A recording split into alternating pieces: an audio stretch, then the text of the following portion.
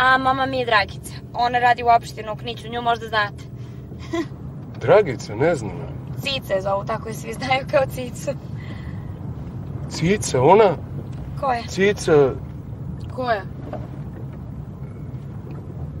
Ne znam ja, nijednu Cicu... Cica. Ne znam, ja nisam sretao nju nikad.